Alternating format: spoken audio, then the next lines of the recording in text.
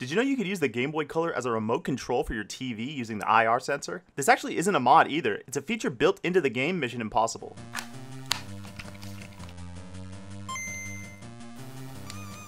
In the Agent Organizers section, you can select remote control and then the little television icon. And then you're able to map any button on the remote to the buttons on the Game Boy.